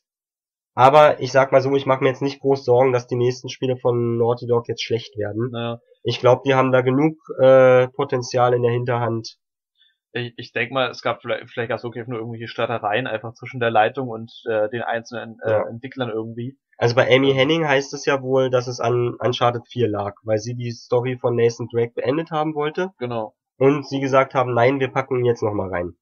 Das Mhm. war wohl so der, ja, sie sich dann in ihrer kreativen Freiheit äh, beschränkt gefühlt hat. Ob sie die jetzt bei EA ausgerechnet bekommt, wird man sehen. Aber EA, man sieht's ja in Dragon Age Inquisition, kommt jetzt hoffentlich gerade wieder an die Phase, wo sie wieder was gut machen müssen. Äh, Deswegen hoffe ich mal, wie gesagt, ich erinnere mich immer an 2007, 2008. Da waren sie schon mal in der Phase, wo sie das mussten und sie haben abgeliefert. Ich baue darauf. Na, mal gucken. Ja, So, dann sind wir schon im Mai. Das heißt schon, wir reden schon wieder eine Dreiviertel, nee, über dreiviertel Stunde, ja. Dreiviertel Stunde, ja. Ja, genau. Sony hatte nicht so gute Nachrichten. Ja, Sony erhöht Verlustprognose auf 900 Millionen Euro. Und, das größtenteils im PC-Sektor. Hm. Ja, also das habe ich nur dazu geschrieben, dass es nicht an den Konsolen lag. Die Konsolen laufen sehr gut, aber dem Konzern Sony an sich geht es nicht besonders gut. Äh, vor allem, da sie am 17.9. die Verlustprognose nochmal auf 1,65 Milliarden Ja. hochgeschraubt haben. Ja, also ich hoffe, dass das nicht so weitergeht. Nicht, dass ich irgendwann eine PS4 hier stehen habe und Sony kann sich nicht mehr leisten, die PS4 weiter zu betreiben. das wäre schlecht. Das glaube ich, das kann ich mir aber auch nicht vorstellen. Sony ist doch eigentlich auch wieder mit sehr viel Geld noch. Ja. Also sie haben Aber sie wurden letztens auch von diesen Ratingagenturen da, die bestimmen, wie viel Kreditwürdigkeit man hat, wurden sie auf Ramschniveau runtergestuft. okay. Also die müssen jetzt wirklich sehen, dass sie sich, dass sie vielleicht mal ein paar Bereiche abschaffen Und sich auf die konzentrieren, die gut laufen. Naja, Sony hat halt äh, auch sehr viele Einbrüche gehabt, so wie Nintendo ein Problem war halt, aber Nintendo hat das ganze Geld in der Hinterhand durch die Wii. Sie war halt die meistverkaufte Konsole und halt auch durch den DS. Sony hat halt äh, Verlust gemacht, vor allem durch die PS Vita. Auch. Ja. ja, und ich muss auch wirklich immer wieder sagen, ich vergesse bei Sony ganz oft, dass die nicht nur ein Spielehersteller sind, Ja. sondern dass die auch Fernseher und alle Elektrogeräte Genau, und genau. so machen, ja. Und da ist halt momentan der Markt ziemlich, äh, sag mal, heftig, weil es gibt mittlerweile sehr, sehr viele auch Fernsehersteller und auch vor allem, ich sag mal, billigere, äh, die halt aber trotzdem gute Leistung bringen. Ja. Während Sony halt immer noch so, ein- so ein Markenprodukt mehr oder weniger ist. Genau. Ähm, am 13.05., das habe ich jetzt nur mal so kurz als Beispiel für den Pre-Order-Wahnsinn Hm. hingeschrieben. Es, am 13.05. wurde bekannt, dass zehn verschiedene Vorbestellerversionen von Watch Dogs im Umlauf waren. Und zwar die meisten davon wirklich mit exklusiven Inhalten. Und es ist doch Wahnsinn. Ja. Wenn man Watch Dogs komplett haben wollte, musste man zehn Versionen kaufen im Prinzip. Also, das ist echt unfassbar. Ja, und das geht ja aber noch so weiter. Ja, das habe ich jetzt nur mal als Beispiel da, das ist noch ein Thema nächste Woche, dieser Vorbestellerwahnsinn. Ja, wollte ich nur mal so, also das fand ich so diese Zahl. Zehn verschiedene Versionen. Ja, für jede Konsole oder Plattform sonst irgendwas immer eine. Das ist Ja. abartig. Ja, und dann eine Meldung, die mich sehr erheitert, aber auch Oh. verzweifelt mit dem Kopf hat schütteln lassen. Dann Der Chef der EA Mobilsparte, Mobile-Sparte, hat geäußert, dass Dungeon Keeper, ihr erinnert euch, dieser tolle Handyableger von Dungeon Oh Keeper, ja, das war. wo man auf ein Feld geklickt hat und dann hieß es, ja, das dauert jetzt zwei Tage oder bezahl Geld. ja. Ähm, er hat gesagt, das war einfach zu innovativ. ja. Und zwar original in Deutsch übersetzter Wortlaut. Äh, Dungeon Keeper ist an mehreren Dingen gescheitert. Ich denke, dass wir insbesondere keine gute Arbeit darin gemacht haben, mit den Fans über ihre Erwartungen bezüglich dessen zu sprechen, was Dungeon Keeper am besten sein sollte. Magen, ähm, Magen, Marke. Marken haben eine gewisse Schmerzgrenze, bis zu der man Änderungen an ihnen vornehmen kann und ich denke, dass wir einfach zu viel verändert oder einfach zu viele verschiedene Dinge probiert haben, für die die Leute noch nicht bereit waren. Ja, Boah. dass das einfach nur Ausbeutung vom Feinsten war, kann er so natürlich nicht sagen, aber ich Nein. dachte auch, warum äußert man sich denn Monate später überhaupt noch dazu? Ja. Man hat, Irgendwie so, da haben sie wirklich nochmal Öl ins Feuer gegossen und alle Fans daran erinnert, übrigens, wir haben hier dieses beschissene Dungeon Keeper. ja. Vor allem, es war halt, es war halt, äh, äh, diese Mobile-Version sah zum Teil schlechter aus, fand ich, als noch das damals ursprüngliche Dungeon Keeper. Ja. Äh, du konntest weniger machen als beim ursprünglichen Dungeon Keeper. Äh, und ja, dann halt, ja, du sollst da irgendwie zwei Tage warten dafür, dass ein Block abgebaut wird. Ja, Also, genau. Und vor allem, man merkt auch, dass man sich bei EA offenbar teilweise nicht gut abspricht, weil EA-Chef Wilson hatte vorher schon geäußert, dass er es beschämend fand, dass man die Fans nicht zufriedenstellen konnte. Ah ja, okay. Und das fand ich eine gute Aussage und dann kommt ein paar Wochen später der hier an und sagt, oh, aber einfach zu innovativ. naja, EA ist halt auch wirklich so ein riesen Ding, die, Mhm. die werden sich niemals irgendwie haben, haben die Fans einfach nicht verstanden, was wir von ihnen wollten. nee, da, Nämlich ihr Geld. richtig, dass das Honeyfans, Haben die einfach nicht Nee. verstanden. das war zu innovativ. Ja. Dass, dass die, dass EA Geld haben möchte. Ja, dann am 17.07. hat Microsoft knapp 18.000 Mitarbeiter entlassen. Ah, ja. Größtenteils in der Xbox Entertainment äh, Studio Sparte, die nämlich geschlossen wurden. Also ihre ganze, daran sieht man, wie doll dieser TV-TV-TV-Plan gescheitert ist, weil die gesamte Sparte, die dafür verantwortlich war, wurde einfach restlos gestrichen. Ja. Und ja, hat jetzt nicht viel mit Gaming zu tun, aber ich wollte es mal erwähnen, weil es ist immer negativ, wenn 18.000 Menschen ihren Arbeitsplatz verlieren, weil sich die große Firma verkalkuliert hat. Naja, und es bestätigt ja das, was wir gesagt haben, sie mussten halt Änderungen durchnehmen. Ja. Weil halt, ja, TV, TV, TV, das hat keine Sau interessiert. Dafür holt man sich keine Konsole für TV, TV, TV. Ja. Dafür hat man einen Fernseher. Fertig. Ja, ähm, dann etwas, was mich persönlich einfach irgendwie aufgeregt hat. Wie gesagt, ich habe eigentlich nichts gegen Cloud Streaming, wenn es dann irgendwann mal soweit ist und ich immer noch meine Spiele auf Disk kaufen darf, wenn ich das gern möchte. Aber Square hat den Cloud Streaming Dienst Shinra angekündigt. ja, das war lustig. ja, und vor allem, schön war, dass in allen Newsmeldungen natürlich stand, Square kündigt Shinra an. Und ich, oh geil, oh geil, oh geil. Ah, ein Cloud Streaming. Ja. Ja, Ja, und zwar soll dieser Dienst Spiele in High-End, äh, an einem High-End-Computer berechnen lassen und somit immer High-End-Spiele darstellen können, auch wenn man keine, kein Computer, keine Konsole hat, die das kann. Ähm, genau. Und ich stehe halt Streaming immer noch skeptisch gegenüber, so ein bisschen, weil ich denke, okay, das bedeutet aber auch, wenn wir irgendwann nur noch bei Streaming sind, dass die Firma jederzeit sagen kann, nö, das Spiel gibt's jetzt nicht mehr und tschüss. Ja. Und der Name. Ich finde, das spielen sie echt mit den Fans. Ja. Dass man dann sowas Shinra nennen muss. Ich kann euch nicht mal erklären, warum es mich so stört, aber Shinra ist aus Final Fantasy VII und sollte nicht irgendwas sein, was in unserer heutigen Welt ein Cloud-Streaming-Dienst ist. Naja, sie, sie haben natürlich, wie gesagt, du wurdest ja erstmal total, oh geil, Ja. Und dann hast du halt sofort draufgeklickt und dann, oh, hm, ja. Und so ungefähr ist natürlich die Marketingstrategie, dass halt die Fans erstmal angelockt werden, um mal zu gucken und ja, dann vielleicht überzeugt werden, aber eher halt nicht. Ja, da habe ich jetzt das genaue Datum nicht mehr gefunden, aber irgendwann in, in den Dreh kam auch das sogenannte Squatting auf.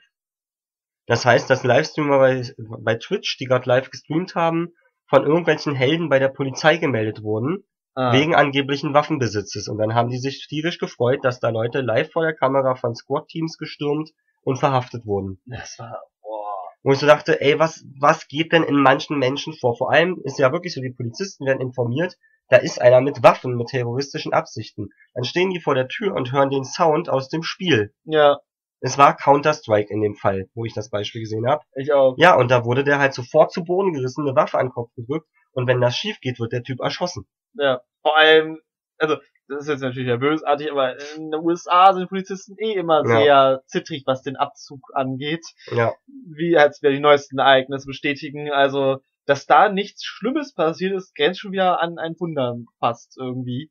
Dass, dass da keiner großartig verletzt wurde, dass nur Sachschaden entstanden ist irgendwie. Ja und am 9.10. ja. kam dann noch was, was mich auch sehr verärgert hat. Da hatten wir das Spiel schon. Mhm. Ähm, und zwar hat der Journalist Jim Sterling veröffentlicht, ähm, das Played Social, das ist die Social Marketing Sparte von Warner Brothers, Ja.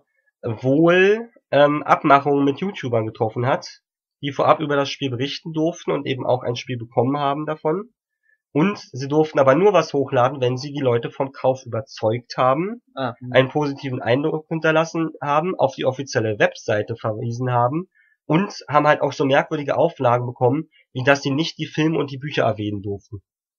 Wo man so denkt, äh, ihr macht ein Herr der Ringe Spiel und sie dürfen nicht erwähnen, dass das von dieser coolen Marke ist. ah ja. Das Mhm. macht Sinn. Ähm, ja, und, und Warner hat sich vorbehalten, beziehungsweise nicht Warner, sondern die, äh, die Marketingfirma, über das Spiel, über jedes Video nochmal drüber zu gucken. Ansonsten durfte man keine Review-Version bekommen. Äh, ja, ich, jetzt erinnere mich langsam wieder, stimmt.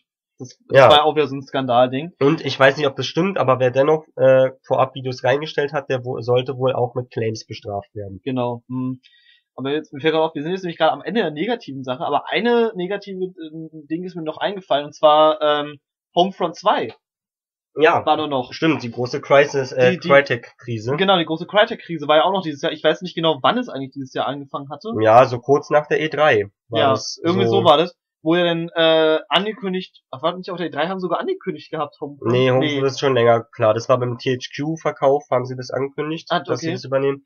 Ja, aber jedenfalls wurde mehr und mehr klar, äh, Crytek hat gar nicht mehr so viel Geld. Genau. Übrigens sind die Yerli-Brüder, die beiden Besitzer, Mhm. immer noch in ihren dicken Mercedes und so vorgefahren. Und naja, gut. Ähm, Naja, einmal gekauft ist gekauft. ja, Hm. ähm, Ja, ja, aber aber- ich meine einfach vom Auftreten her. ja, Weißt ja. Du? Die haben Probleme und stellen sich da protzig hin. Wir haben keine Probleme. Ja, ja. Wir sind Es ist total bescheuert. Und die ganze, also es war ja, wie gesagt, es hat ja irgendwann nach der, wie du sagst, nach der E3 war es irgendwie, angefangen, wo die ersten äh, Nachrichten kamen von Crytek, dass die anscheinend Geldprobleme haben, dass sie ihre Mitarbeiter nicht mehr richtig bezahlen können, dass, dass die Mitarbeiter da schon seit Wochen auf ihre Lohnchecks warten und halt wirklich selber Geldprobleme haben, weil sie halt nicht ordentlich bezahlt werden. Ja, können. und vor allem hat auch zwischenzeitlich, glaube ich, so das halbe oder dreiviertel äh, der Entwickler von Homefront äh, haben das Studio verlassen. Ja. Haben gestreikt, haben gesagt, wir machen nicht mehr weiter. Se- Und dementsprechend kommt das Spiel jetzt auch nicht mehr wie geplant dieses Jahr.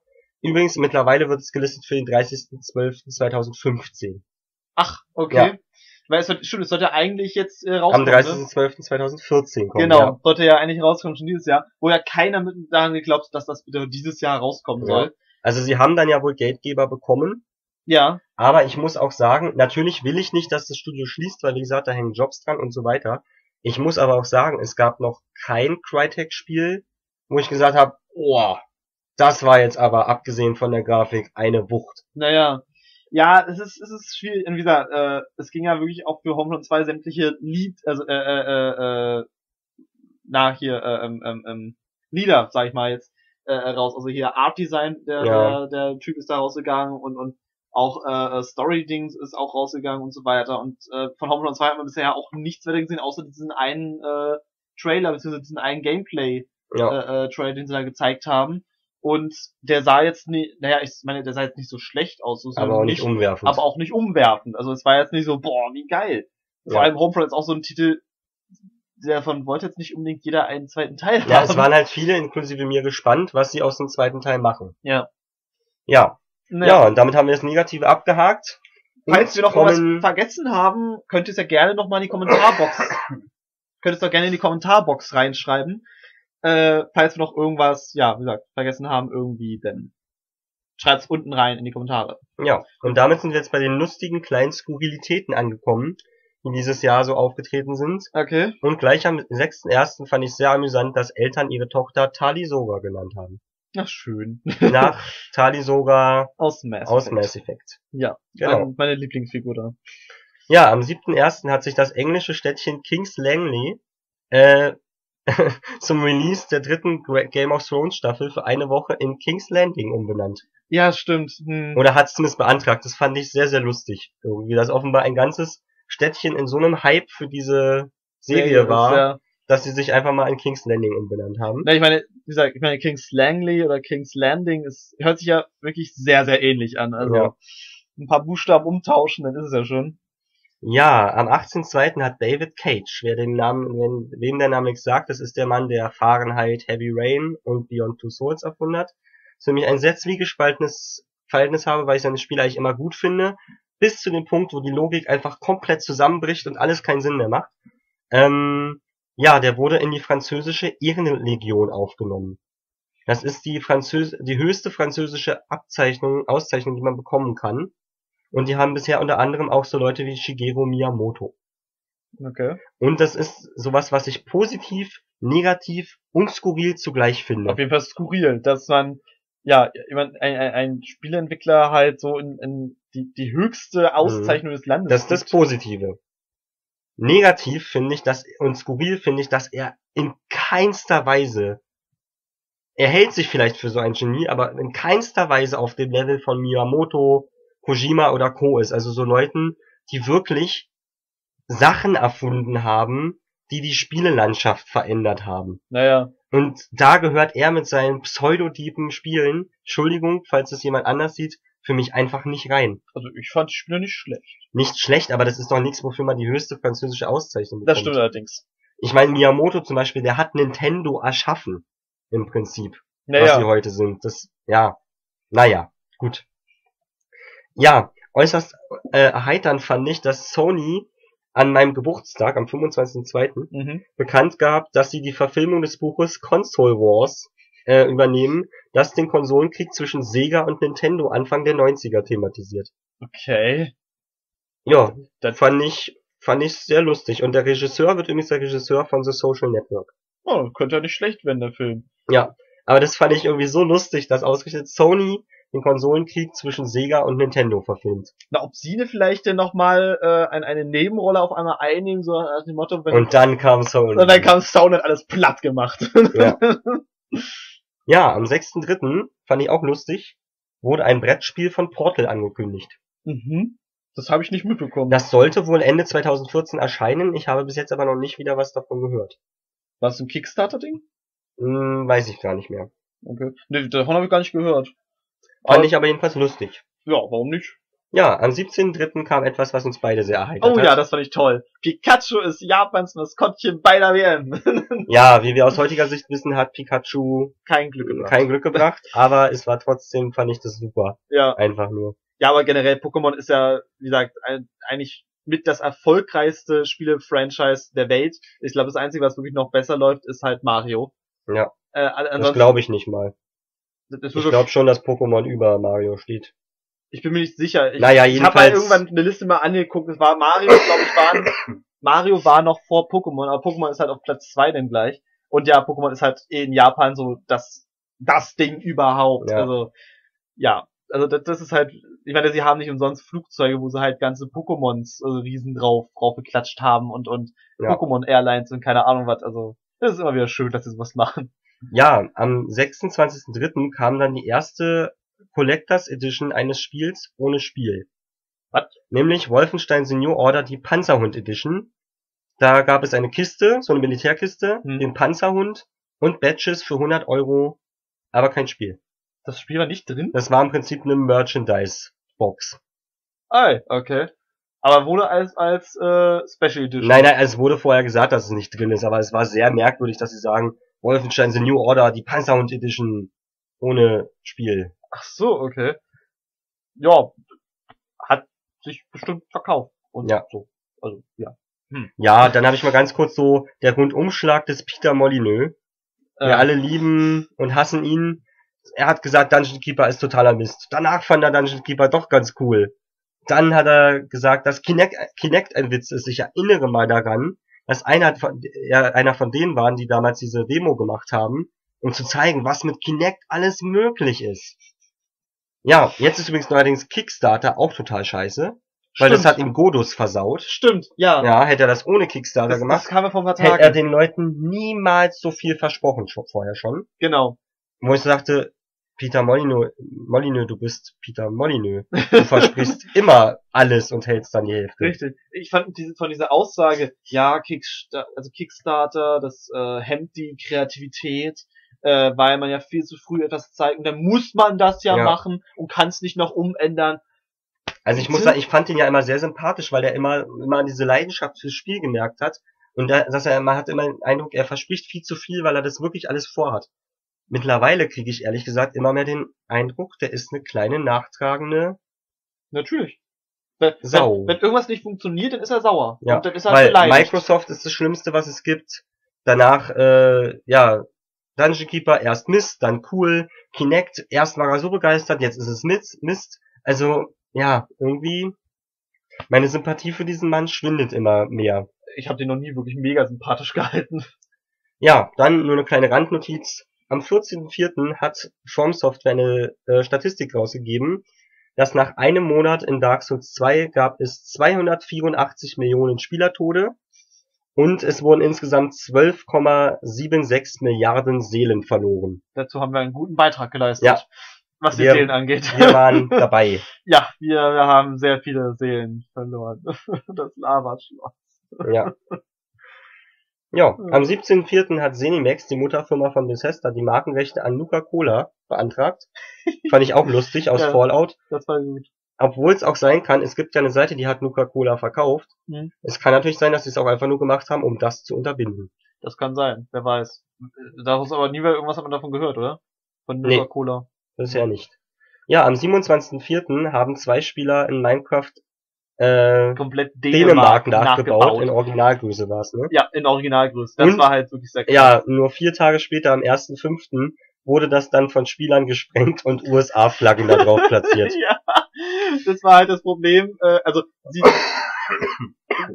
also sie haben äh, immer noch die, die, soweit, also soweit ich das verstanden habe, haben sie immer noch ein Backup von der gesamten Map. Ja, Aber sie haben halt eine Map äh, äh, aus Versehen, glaube ich was, oder, oder Spieler sind irgendwie haben sich reingehackt. Ich, nee, sie haben es TNT, nicht sie haben. TNT auf der Karte verboten, aber es gibt irgendwie wohl so Lo Loren in Bergwerken, ach wo, genau, wo, wo man TNT reinmachen Genau. kann. So und die haben das. sie vergessen zu deaktivieren, ja. Und dann haben ein paar Amis die ganze Karte gesprengt und Amerika-Flaggen platziert. Ja, Was irgendwie lustig und traurig zugleich ist. das stimmt wohl, aber es ist ein verrücktes Projekt generell gewesen, dass halt zwei Leute, ich finde, komplett Dänemark, ich meine, Dänemark ist nämlich vielleicht das Größte, aber trotzdem, es war eine Originalgröße. Ja. Also, das, das war krass. Ja, hier, ne? Jetzt hier so die Publisher alle mit, oh, wir haben Paris und Originalgröße. Ja, Paris. Mach mal Das- Dänemark! Ja. naja, wie sind wir? Assassin's Creed Dänemark. Sehr gut. der dänische Assassin. das stelle ich mir gut vor. Ja. Schön. Ja, am 15.05. gab, na, oder von Beginn des Jahres bis 15.05. gab es einen Rechtsstreit zwischen 3D Realms und Gearbox um Duke Nukem Mass Destruction. Das hatte 3D Realms, die ursprünglichen Erfinder von Duke Nukem, nämlich einfach angekündigt. Was sie dabei vergessen haben, ist, dass die Markenrechte bei Gearbox liegen. Wo ich auch wieder so dachte, wie kann denn das sein? Wie kann man denn ein Spiel ankündigen, für das man die Rechte nicht hat? Man kann es probieren. Ja, Gearbox hat verklagt, hat gewonnen und am 15.05. wurde, 5. wurde das Ganze dann zu Bombshell umbenannt. Oh. Mit dem Gott. wohl miesesten Trailer des gesamten Jahres. oh ja, das war das Schlimmste. Da- man- Seitdem hat man nie wieder was davon gehört, Nein. oder? Ich werde euch das verlinken, dann brauchen wir nicht drauf eingehen, warum das so schrecklich ist. Es es das, war schrecklich. Oh, das war das Schrecklichste.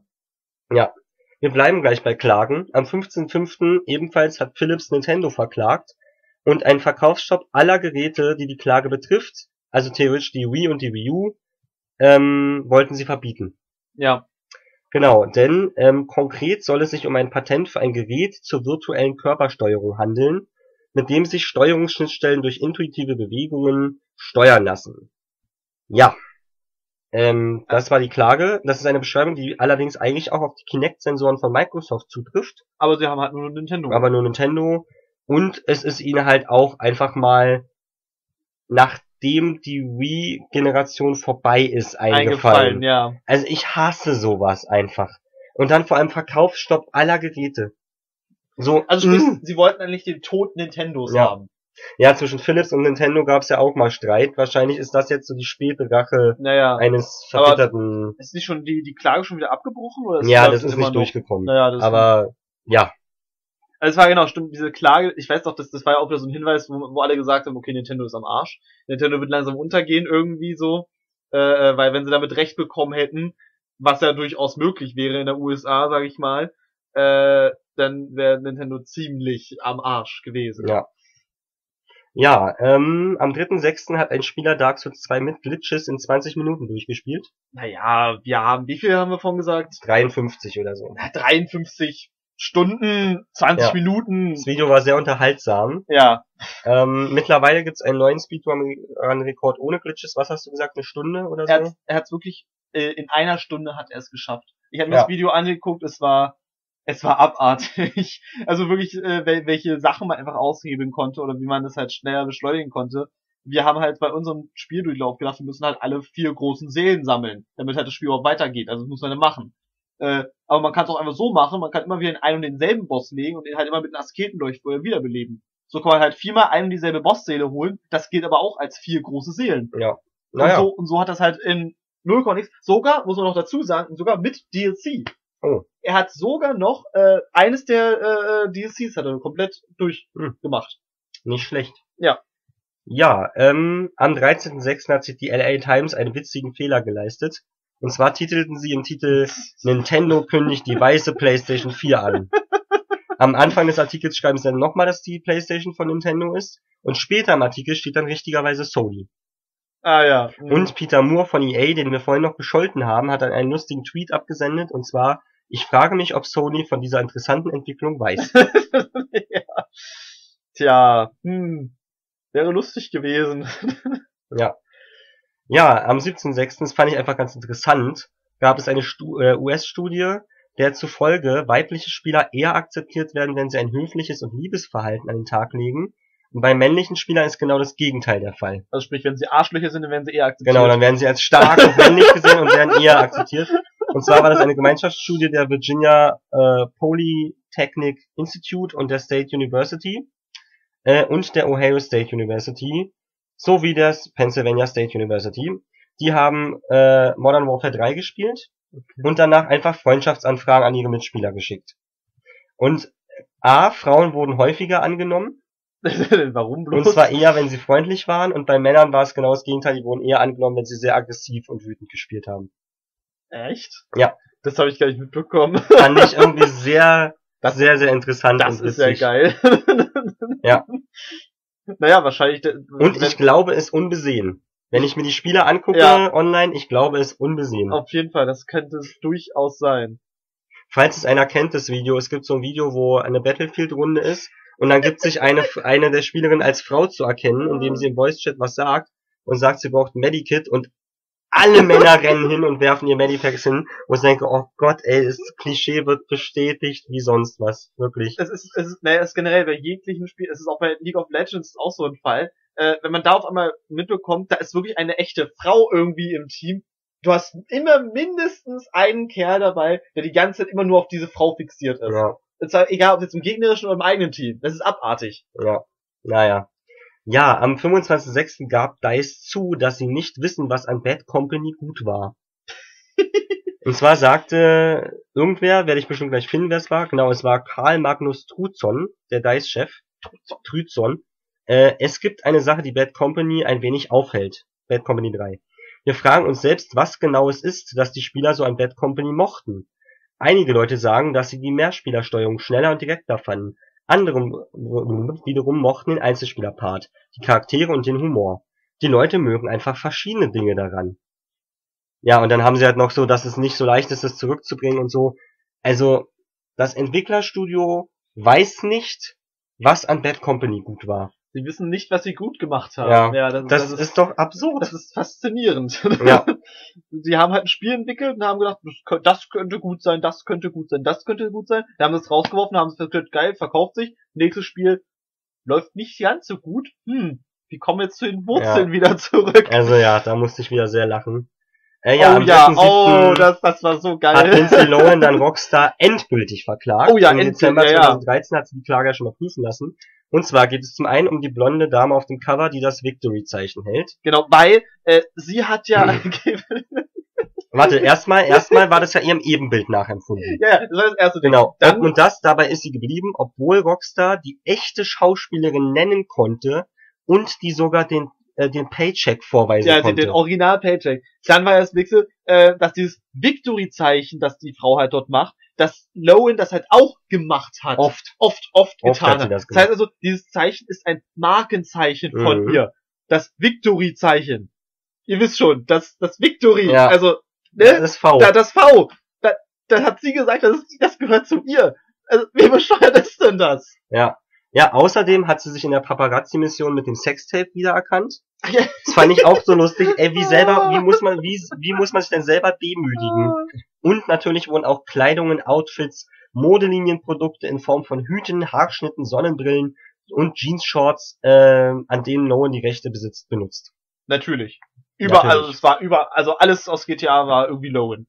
Ja. Es, äh, also, Also Ja. das war so lustig und auch Rockstar selber hat sich ja einfach nur lustig darüber gemacht. ja, die haben es überhaupt nicht Ähm, ernst genommen. ja. Generell keiner hat es ernst genommen. Also, ja, also es diese Frau, und vor allem, man muss, die ist mittlerweile 27. Ich dachte, so wie die aussieht, denkt man, die ist 50. es Also ist, die ist so, ist so ein, die, ja, man darf ja nicht, kein Rufmord hier, aber, ne, sie hat ja mit Drogen und so schon ein bisschen was zu tun gehabt und man, das man kann merkt einfach man sagen, ja. sie ist ein Drack. Ja. Also, sorry, das, das ist, alle Welt macht sich über Lowen lustig. Ja. Die gesamten Amerikaner, es gibt keinen amerikanischen Comedy-Typen, der nicht mindestens einen Witz im Programm hat über Lowen. Ja. Also, Ja, äh, wir hatten ja von Dark Souls mit einer Stunde und 20 Minuten, das ist ja ein Witz. ja, Also am machen. 3.7. hat ein Speedrunner Ground Zeroes, Metal Gear Solid 5, den, den Prolog sozusagen, in vier Minuten mit S-Rang geschafft. was? Ja. Wie das? Er ist einfach durchgerannt, wusste genau, wo er lang muss und wenn man entdeckt wird, geht man ja in Zeitlupe. Ja. Und er hat dann einfach jeden in dieser Zeitlupe erwischt, wurde dementsprechend nicht entdeckt, in Anführungszeichen, weil kein Alarm ausgelöst wurde. Und ist in vier Minuten da durchgerannt, hat einen S-Rang bekommen. Ja, Wie, äh, gibt es nicht mehrere Missionen, die man machen muss, um das nein, Ground Zero ist ja eine große Mission. ja. Die, wenn man sie langsam spielt, so zwei Stunden dauert. Er hat es in vier Minuten gemacht. Oh, Ich verlinke euch natürlich auch das. Ich habe es mir extra das, das muss rausgeschrieben. ich mir selber mal angucken. Ja. Wow, nicht schlecht. Ja, dann am 4.7. gab es für einen Tag Bezahldemos von EA auf der Xbox One. ähm, ja, das war angeblich ein Ja, Systemfehler, Ja, ein Systemfehler. wo man dann 4,99 für die FIFA 14 Demo bezahlen, äh, 15 Demo zahlen durfte. Ja, das Ja.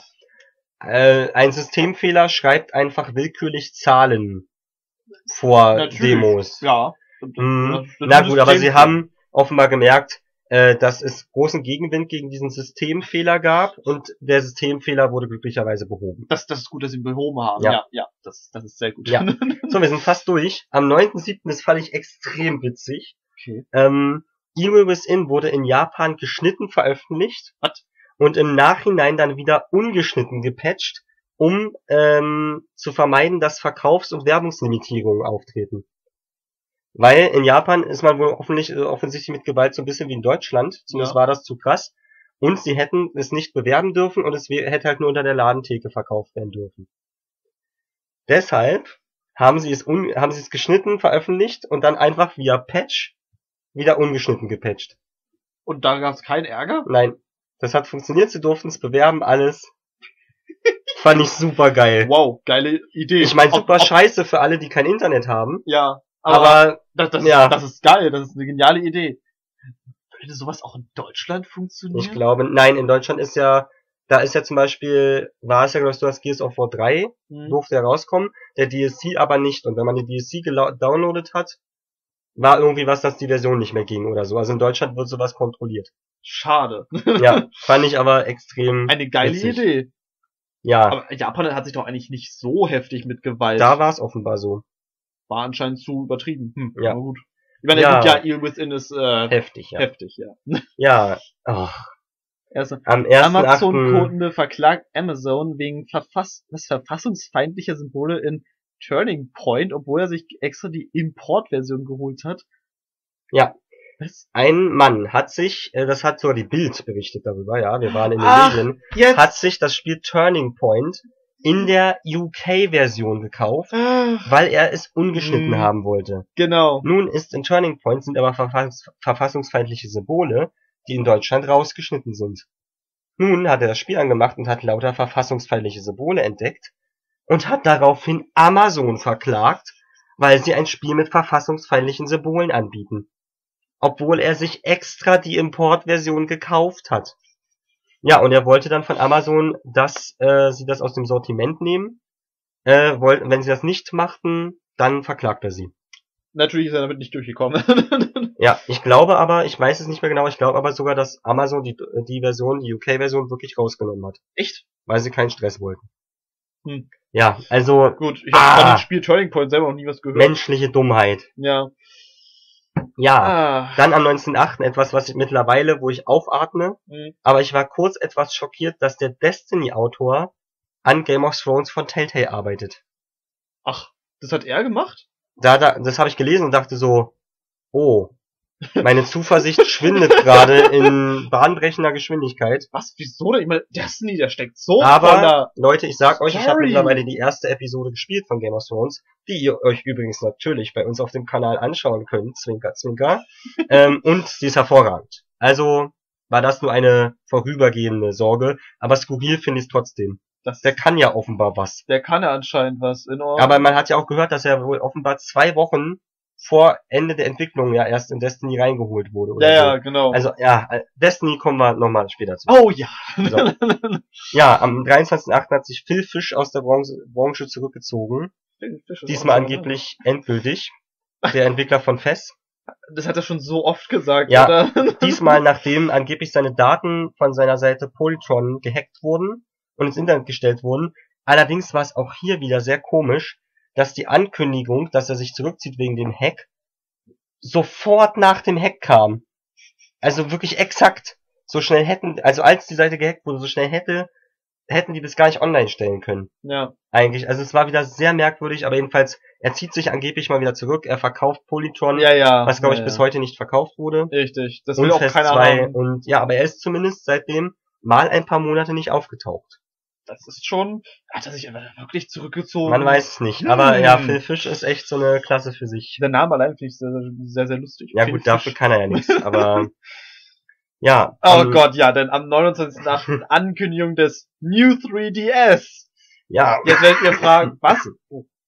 Ja. Ja, denn jetzt werdet ihr fragen, oh, es gab einen neuen 3DS. Ja, und zwar den New 3DS. Ja, ein neuer Handheld, im Prinzip ein neuer Handheld, weil es halt ein 3DS mit verbesserter CPU und einem zweiten Analogstick und zusätzlichen Schultertasten. Und aufgrund der besseren Leistung gibt es auch Kompatibilitäts Kompatibilitätsunterschiede. Das heißt, Spiele vom New 3DS kann man nicht auf dem 3DS spielen. Richtig. Das heißt, das ist im Prinzip ein neuer Handheld. Mit dem Namen New 3DS. Ja, aber Nintendo hat wieder den dümmsten Namen, den man nur sich aussuchen kann, Ja, genommen. Und ja, jetzt, ja, wie, wie es schon äh, oft gesagt wurde, wir sehen schon die Gespräche in den Läden kommen, ich hätte gern den neuen 3DS. Meinen Sie den neuen 3DS oder den, die neue Version vom 3DS? Naja, ich meine den neuen 3DS. ich meine The New 3DS. ja, also, ah, der, der, äh, na, von Giga, äh, äh, ähm, Robin. Robin. Genau, Robin von Giga hat das sehr, sehr schön äh, in einem seiner Videos äh, gesagt. Äh, ja. Ich, ich, mich würde es interessieren, ob wirklich so eine Gespräche entstanden, entstehen würden jetzt über Weihnachten. Ja. Wenn halt wirklich so ein kleines Kind versucht, dem Opa zu erklären, dass es den New 3DS haben Ja. möchte. Naja, gut. Ähm, übers Jahr verteilt habe ich nochmal so ein paar YouTuber-Sachen äh, rausgeschrieben, die ich ganz lustig fand. Zum Beispiel hat der YouTuber Manny a True Nerd Mhm. ähm, sich die Aufgabe gesetzt, Fallout 3, in Fallout 3 alle NPCs zu töten. Okay. Mit dem Ziel, das Spiel auszureizen und so zu erleben wie beim ersten Mal. Also er wollte halt probieren, ob das geht, wie das Spiel reagiert, ob das Spiel dann völlig zusammenbricht, wenn man das macht. Es war jetzt also kein mordlüsterner Spieler, der einfach alle umbringen wollte, sondern es war halt sozusagen ein Experiment. Und derselbe Mensch hat danach Mass Effect 1 ohne einen einzigen Schuss durchgespielt. Was? Ja. Wie kam Und das? er will alle drei ohne Schuss durchspielen. Ja, nur mit Biotikkräften und so. Ach so, nur mit, ach so, okay, nur mit Biotik. Aber ohne einen Schuss hat er Teil 1 durchgespielt und schon hochgeladen wow, und will auch noch 2 und 3 so durchspielen. nicht schlecht. Ja, und auch im Verlauf des Jahres, ähm, das zweite Mal war es im Oktober, hat der Streamer Bursley oder Bersley Dark Souls 1 und 2 mit dem Guitar Hero Controller durchgespielt. Das war das geilste. Und wirklich so geil, also er konnte nur links laufen, ja, er konnte bestimmte Sachen nicht machen und er hat halt einfach zwei der ähm, schwersten Spiele dieser Generation mit dem Guitar Hero Controller durchgespielt. er ist natürlich öfters gestorben und so weiter. Es ist Ja, nicht so, klar. Dass, er, dass er jetzt einfach hier Aber- äh, perfekt alles hat, aber äh, ich finde es so geil. Es gibt äh, äh, von von Screen Junkies, glaube ich, was. Ähm, die machen ja immer so eine gerne Honest äh, Trailers und auch Honest Game Trailers machen Ja. sie bei, für Smosh Games, ja. Und äh, da haben sie auch für Dark Souls ja auch gemacht. Und ich fand das so geil, der, der Spruch am Ende so, ähm, äh, wie war's? Ach genau, hä, naja, Speedrun von Dark Souls. Versuch's mal mit einem Guitar Hero Controller. Kommt schnell Videoeinblendung von den Typen, der mit dem Guitar Hero Controller gerade den letzten Boss liegt. Ah, nun, das ist beeindruckend. Ja. das ist, allein diese Aufgabe, sich selber zu stellen, wie, Ja. wie, wie, wie man darauf kommt. Also Spieler kommen schon auf coole Ideen manchmal, Ja. muss man sagen. Also das war wirklich beeindruckend, ja. Ja, und am 11.9. fröne ich nochmal dem Kojima-Tour. Ah Gott, okay. Und zwar hatte Kojima im Vorfeld der TGS ähm, eine neue Metal Gear Collection angekündigt. Mhm. Und hat damit einigen Rage ausgelöst, weil die Leute so ein bisschen, was, schon wieder? Es gab doch erst die HD Collection und dann gab's die Legacy Collection. Was soll denn das jetzt schon wieder für eine Collection sein? Ja, dann kam die TGS und es entpuppte sich als Modelinie. Oh Gott. Fand ich großartig. Es war wieder so, Aber So er, ein er, Troll- reizt, er, er reizt aber auch die, die Ja, Fans mal macht er aus, auch. oder? Ende. Er hat seinen musste Spaß wirklich, daran. musste wirklich sehr lachen. Großartig. Und die sehen gar nicht mal so schlecht aus, die Klamotten. Okay. Ja. damit haben wir diesen ersten ganz, ganz winzigen Teil geschafft. Ah. Ja, in einer Stunde 23 war so etwa, wie ich gedacht hatte, muss ich Du hast sagen. das schon vorher abgespeichert, einmal eine halbe Stunde, oder? Ja, aber wir haben danach weiter aufgenommen. Ach so, okay. Also, ja. Habt ihr noch irgendwelche News, die wir vergessen haben, die euch dieses Jahr bewegt haben, wo ihr euch aufgeregt habt? Oder die ihr toll fandet, oder die ihr einfach nur extrem merkwürdig und skurril fandet. Ich überlege gerade, ob es noch irgendwas in jüngster Vergangenheit jetzt nochmal irgendwie war, Nee, Wochen. jetzt so zuletzt, was wir halt ja le- leider jetzt nicht mehr reinnehmen können. Heute, also wenn ihr das hört, gestern waren ja die Game Awards, wo es zwölf Weltpremieren geben soll. Ja. Können wir jetzt leider nicht mehr mit reinnehmen, aber ja, da informieren wir euch dann vielleicht nochmal drüber, aber ihr könnt ja auch selber ganz gut lesen. Genau. Ähm, ja, ansonsten würde ich sagen mal, Negatives. Wir haben auch schon Assassin's Creed Unity mit den Das ja, das kommt ja alles das, das kommt ja auch mit den ganzen Spielen, obwohl man, also das Einzige, was mir so einfällt, generell, welchen Trend momentan Spieleentwickler haben, ähm, das, das stellt eigentlich noch was für Negatives, nicht was Skurrilem. Ähm, und zwar, dass halt Spieleentwickler momentan irgendwie diesen Trend haben, wir bringen unser Spiel raus, aber es muss am ersten Tag ein 5 Gigabyte Patch ja. dafür sein.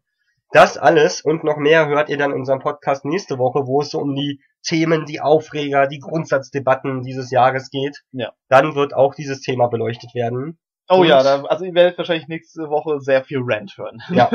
Und dann hören wir uns nächste Woche oder sehen uns bei einem unserer anderen Projekte. Bis dann, euer Gauton. Und noch einen schönen Nikolaus euch allen, euer Ramen. Ciao. Ciao.